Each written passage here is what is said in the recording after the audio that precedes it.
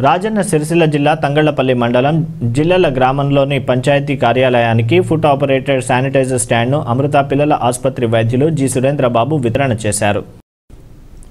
Corona సంక్షోభాన్ని పరిష్కరించడానికి వ్యక్తిగత పరిశుభ్రతను పాటించి నివారణ చర్యలు తీసుకోవాలని డాక్టర్ సురేంద్రబాబు ఈ సందర్భంగా ప్రజలకు సూచించారు. జిల్లాలో గ్రామ ప్రజల తరపున డాక్టర్ సురేంద్రబాబు గారికి ప్రత్యేక ధన్యవాదాలు తెలిపారు. ఈ కార్యక్రమంలో జిల్లాల సర్పంచ్ మధు ఉప సర్పంచ్ సతీష్ రెడ్డి రైతు సమన్వయ కమిటీ అధ్యక్షులు అగ్గిరాములు టీఆర్ఎస్ నాయకులు అనిల్ సతీష్ షరీఫ్ పూర్ణాలు పాల్గొన్నారు.